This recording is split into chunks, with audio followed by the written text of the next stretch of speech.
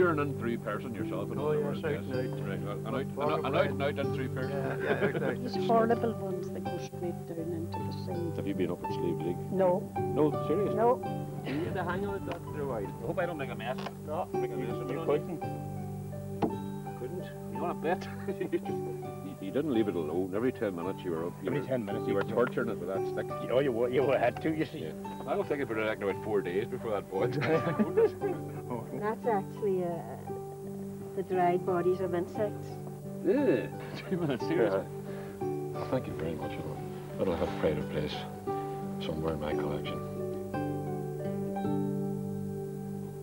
They have their very own version of the Atlantis myth in this part of the world, whereby the enchanted land of High Brazil appears periodically a few miles out to sea. It's a land of beautiful vistas and sandy shores, but as soon as anyone attempts to reach it by boat, a fairy mist descends and the land disappears from sight. What I find most mysterious about this legend is why anyone would want to leave this very real enchanted land for another across the sea. Welcome to Slieve League and the mountains and headlands of southwest Donegal. Or maybe this is High Brazil. Maybe that's how the magic works, reached the island but forgotten how he came here. That's one possible explanation for the fairyland quality of this seascape, the dramatic entrance to Teelin Harbour, sculpted by water elves who crossed from Sligo in centuries past. The towering ramparts of Bunglass bracing themselves against the unveiling Atlantic hordes, whose armies are infinite, whose march is relentless, and whose sly advances are never ending. There's a kind of scenery, and we're blessed with it here along our coasts and in other places, that leaves us, quite literally at times, breathless with excitement and tingling with danger-induced adrenaline. It's most palpable here at Slieve League, but it stays with you in a kind of remembered glow as you draw slower breaths in the lee of the mountain and on into Glencolmcille and further east along the coast to the little towns of Carrick and Kilcar. The similarities with the North Antrim coast are obvious if somewhat superficial. There's even a Rathlin island here, Rathlin O'Birne to give it its proper name. But I'm standing on a piece of coastline here that's just a little bit older than North Antrim. About 500 million years ago, this cliff was the ocean floor. Now it's swapped places with itself, confusing the birds in the process. There is such glamour and colour and drama in this landscape, so much to beguile the eye and transfix your gaze that you need to exercise its spell. Get into it, swim in it, walk in it, climb it. Something that gets you feeling the fabric, wearing it instead of just admiring it. The magnificent Slieve League at 1,972 feet, the highest and scariest sea cliffs anywhere in Europe. Also, I suspect, the windiest as well, because if I wasn't hanging on to this fence post, I think I'd be somewhere else entirely. When tourists come up here, they tend to stay a long time, not just because they're enjoying the view, but because they're terrified of facing the journey back down that road again. What's even more frightening for me is that tomorrow morning I'll be down there somewhere underneath it in a boat. Well, that's the plan anyway. Next day, I am indeed ploughing along the Atlantic edge in Adrian Malloy's boat in the company of local author Michael O'Donnell. The cliffs of Slieve League are no less impressive when they're soaring above you as opposed to plunging below you. Michael's book is entitled In Through People, and I'm about to find out what that means. But not, Adrian assures me, before he catches a decent fish. So, with one eye on Adrian's line, I first of all inquire about Michael's father, the man who once ran the BBC. The BBC was was started in, well, he started uh, his operation 1926, Yes. 27, and then he was going till 19. He got he died himself from an accident on the BBC bus in Back away, 1942. And then the bus went on. My mother, the war years were from 39 Yes. to 45, so she ran it on to 44, 44. and then she had to give it up, you know. The BB, we should explain the BBC. Is So Bugger, Bugger Bus Company. Bugger Bugger's Bus the name of the townland, Bugger. Bugger. and Yeah. I would it'd be sad to tell you what Bugger means. It means a soft place. A soft place. Yeah. Yeah, okay. Yeah. yeah, yeah. Bugger Bus Company, yeah. Yeah. And that and that was that was actually quite famous in this area. Well, that- he had the, the first uh, private bus, as far as I know, in the county, you know. Yes. And that was, he had three buses altogether. He had a small bus first, a 10-seater. Yeah. Then in the mid-30s, he got a 16-seater. And then he got a 20-seater. Right. And everybody from the area, that time there were only one or two cars in the whole area. So he- Everybody either had a bicycle, you Ah, walked, or right. you went on the bugger bus. Right. So he he was one of them. He was the the He, main he form owned of it, aye, he was transport. on his owner, aye. Drive, aye, main transport. And, uh, and the funny thing about it, what you wouldn't get nowadays, if you, that time things were very tough in the 30s, you know. Sure. were very poor. And Yes. if young lads not on the bus were going on, and if you hadn't the price of a journey to Killybegs, and you said to me, Father, Johnny, I'll see you again, and he would say, Ach, sure, I know you. I'll, they wouldn't, of course, they would never see you, you know. Aye. Yeah, aye. he didn't, you, you had, didn't want money, really. No. So he, he was doing the service for people. Aye, service, words. aye, Yeah. aye. One of your writings was called uh, the uh, the in through people. Yes. No, go and explain what in through people. Well, in be. through people is very funny, got that name from. You see, Killybegs at that time, the- they're all natives, Killybegs at the moment. Yes. There's only about a third of the people are so A lot of them from, Killybegs. out, come from outside outside. Aye, but at that time they're all Killybegs, you know. But the, the notion, because the train was coming in and all that, that once you passed Killybegs, Yeah. that was we were in Balubaland. That was the end of the world. You understand? Right, so so you came if you came from in there, you came from in through. In through. So right. we were called the in through people. You were the in through Yeah, people. so yeah. A, a true native, in other Aye, well, there was it's only a joke. I'm not saying anything against the Killybegs. We were just known. that's how they used to speak, the in through people. He's from in through, they would look. say. What's, what have we got here, Adrian? Tiny little grey gurners. A wee, a wee gurnard. They're actually very good eating, you know. Mm, no, That one's- that one's too small, isn't it? small. So you- you're an in through person yourself, in Oh, other yes, words. out and out. Right. An Born- out, born an, and an out and out in through person. Yeah, yeah, out, out, out. Adrian takes fishing parties out for a living, and earlier this morning he tells me they had to share the waters of this bay with a 20-foot basking shark. His catch on this occasion is thankfully quite manageable. As Adrian himself describes it, a small pollock. Three, Three, two, two and a half two and a half. pounds. It's small. Beautiful fish. Beautiful fish. Mm. Well, Absolutely gorgeous. Yeah. We'll put him back. Live another day. Live another day. And another day later, I walked the shoreline away to the east of Slieve League in towards Muckross Point in the company of Mihal Gillespie. Like me, Mihol certainly appreciates the beauty of these surroundings, but what the stranger sees is not always what the native knows to be the true picture. Absolutely idyllic here today, I must say. That water's very inviting looking now, isn't it? It's- But you tell me that's the Yeah, beach well, that that's has, the, the- has a dangerous undertow. That's the da- beach that has the dangerous undertow, and that's Yeah. one of the one of the dangers about these things that you you could be drawn to it, and Yes. Then there is difficulties. Then Yeah, So everything, everything around here that's beautiful also has a wee dangerous edge to it, you know, that's right. which is the sting in the tail, isn't That's right, yeah. That's right. That's like Mm. a beautiful woman.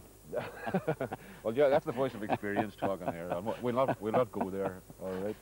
But um, there's a road I can see that takes us right out to the end of the... We haven't got there yet. We keep stopping. They have all these different beautiful Yes, views. we, we'll get there We'll eventually, get there eventually. To, to the head and Yeah. see the specific things we want to uh, have a chat about. Yeah. Michael, I think it's going to take us all day before we get to the end of Muckross Head because we, keep- we keep stopping for all these different uh, different views. But this is a lovely spot here. We're down on the actual beach now itself, and there's a very interesting rock formation just sticking out there at the end of it. You're saying that's what probably gives this place its name? That's what gives this beach its name. That is Lower, the rock of Lower, which um, we like to think is named after an old sea god, but it does look like a, an old hag with a shawl. An old hag with a shawl. Yeah. You're telling me there's some significance to this hill up here above us, which is a wee bit steep for us to be climbing, let's face it. But we can, That's we can, we can talk about it, we can see it anyway from here. Ah, that is Molly Nabrina, the hill of the fight, and that is where Crapastun, the king of the fairies in this area, lived. Crapastun. Crapastun. And uh, there's a well there just below the, the top ridge. And uh, we think that that is the only well na- left in Ireland that is named after a fairy, because all the rest of the wells were blessed and so on like that. But this one uh, still exists, named after a fairy, Crappastoon. And uh, there's a story about the well itself that uh, when he went over to fight the fairies in Connacht, that he said that the locals should look in the well every evening, and if they discovered that it was turned red, then he would be dead. He would be dead. And uh, that is what has happened because he's not He's not, he's at not the back. moment. So it must have He's not- turned red at some stage. That's right. so when you that's say the locals in this instance, you're talking about the local fairies or the local people? Uh, local local fairies. Well, the people had at those times had to live uh, kind of in conjunction Yes. with the fairies because if you didn't, some bad spells would be put upon you and Right. so on. you're, you're advised to keep them happy. That's right. That's right. Yes, we did eventually get to Muckross Point, the headland of the pig. No pigs nowadays, but plenty of other remnants of past times. Michael's own one classroom school, built in 1863, now a private home. And, remarkably, the steps leading to what was a market house. Evidence that this was once a busy trading centre with materials going in and out from Sligo, Mullaghmore and Inishmurray. Teelin was once a centre for curing fish, cod, ling and herring, and for making barrels. And here on Muckross Point, Michael tells me, two natural resources were used extensively in previous centuries to make what was an essential commodity. This headland here was all bog originally. You mean it was a lot higher than this would have been? Oh yes, Yeah? Oh yes. And there was places places here where my grandmother said it was 12 turf deep. 12 turf deep. That's right. That's a very deep bog. That is a deep bog. Right. And it was all used then to boil the salt water to get salt from it. And a, a lot of the ground underneath now has been exposed because that's all been cut away, That's right. Mm-hmm. That's right. which doesn't help the erosion of the, of the place. Doesn't help the erosion. It's been eroded uh, gradually year after year in reality. With every storm that comes, there's more and more. There, on the other side of us here, we had what was called the Mucker's Caves. Those caves don't really exist now because what was up above It's fallen fell, in. has fallen Oh, I in. see. Yeah.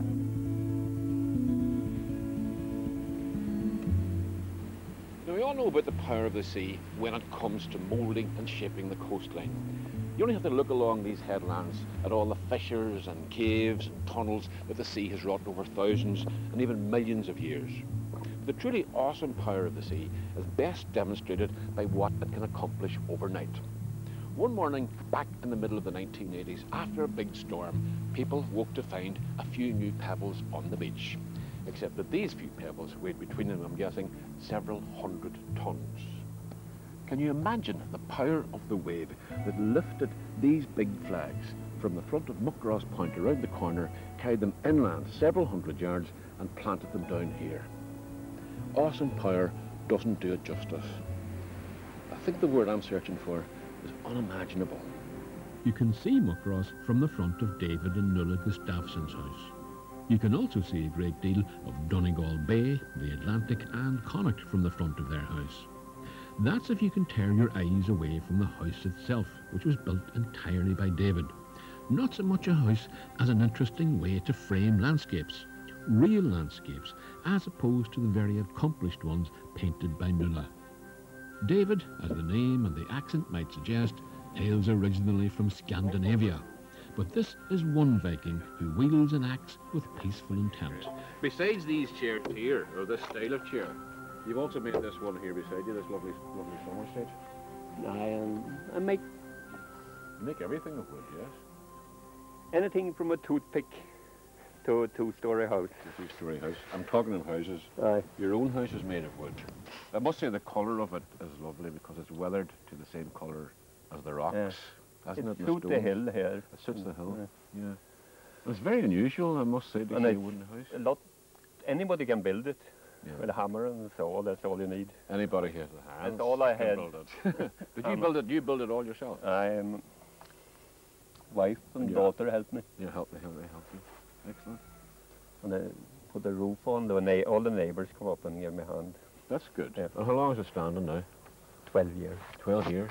So it's, and it's standing all the weather that this area throws at you around here, yeah? Not the creek. Aye. If you ever in a boat on a bad day, you hear it creak. You hear it creaking? The same thing. Beside the main house is the chalet version, a beautiful wooden holiday house that Nuala and David rent out to those with an eye for scenery. Nuala's not the only female artist in the family. Their daughter has also left her mark upon the place, and they all do a bit of this and that. The result, I think it's fair to say, is a wonderfully eccentric and playful building. I know what happened here, right? David just had the wall plastered fresh and you had a, a furious row, started throwing things at each other. No? that's, that's, that's funny, well, isn't it? Yeah, well, I can't throw anything away. And all these wee bits, these bits, Yeah. they all came out of walls. Out of walls? Out of the walls here, the stone walls and down in the soil. Why would that? I mean, they're just thrown, Because, they were, they were yes. dumped out? Yeah, That's what you mean. so. I couldn't bear to throw it away. I thought, uh. well, it's part of here. It's certainly part of here now. Yeah. Uh, definitely. Still have one. That's good. It's clever. It funny, the wee handle sticking out. Yeah. You think the rest of the, the dish or the cup Yeah. is, is stuck inside somewhere, you know? Yeah. That's lovely there, isn't it?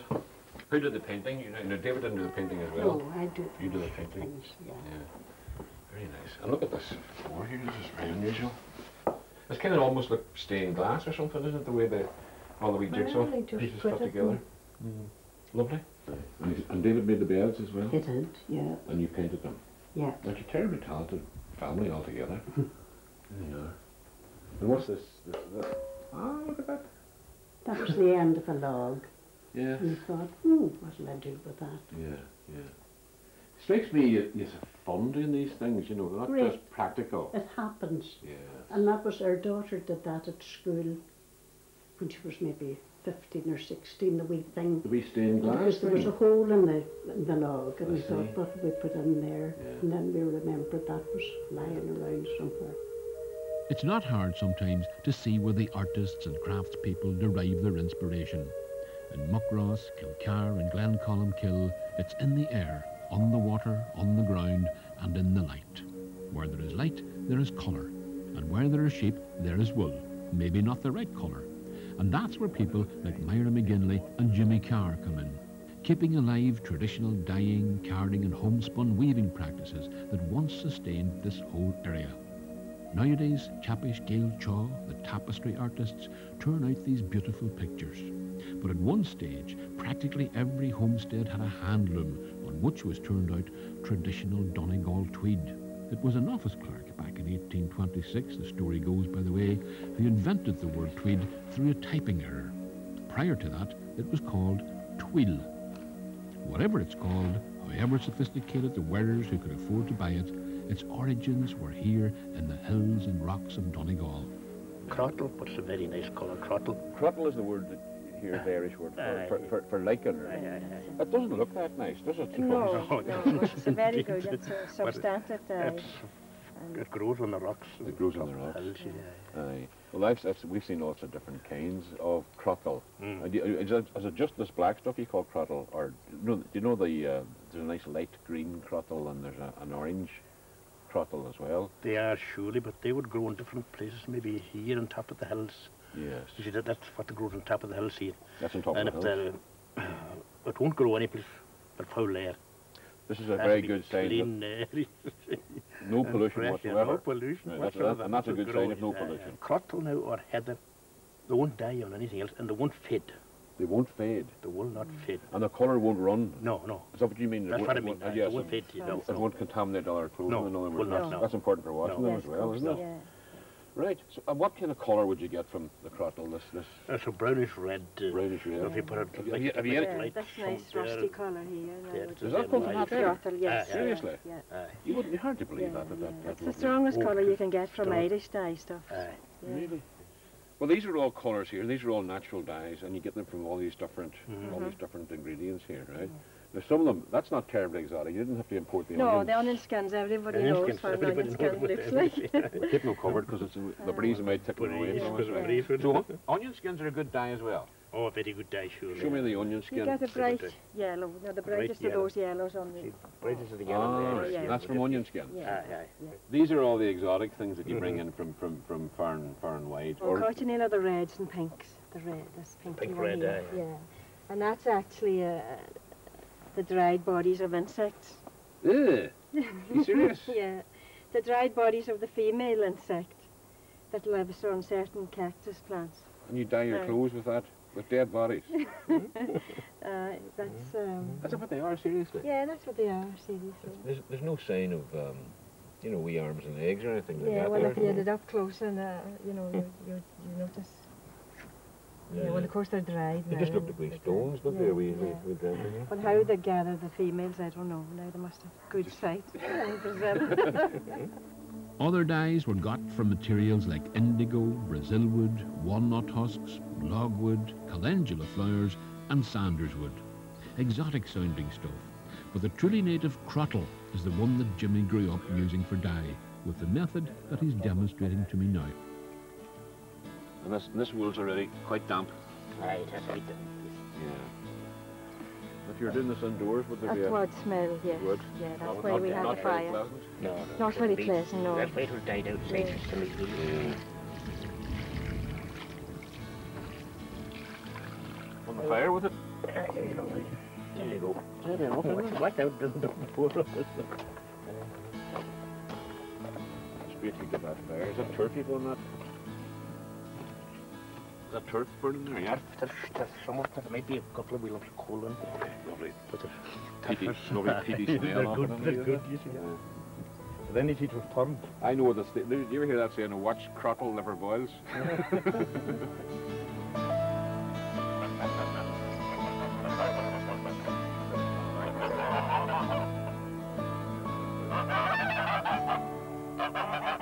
I made my farewells by calling on and passing Bernie Cunningham. Bernie's a kind of female version of Noah. You can sort of tell that she likes animals and birds. You can also tell that the peacock likes them as well. In fact, he's a bit confused, this peacock, because when this peahen rejects his advances, he simply switches his attention to the other peahens.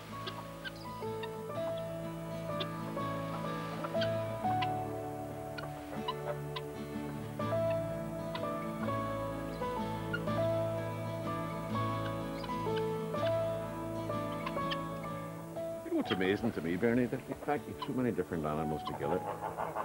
And they actually seem to get on reasonably well together. Yeah, because they're all in one place. Just, Yeah, but they're not as much. I mean, you'd- think the lamb would be. no, he's been there since he was born, and he's Right. just Sweet. Maybe he thinks they're his family, I would say. he thinks he's a hen. that could be it. Look at this for display. Please notice me. Is that what he says? Yeah. Yes. He hasn't bothered trying to eat anything yet. No, he just does his dance first.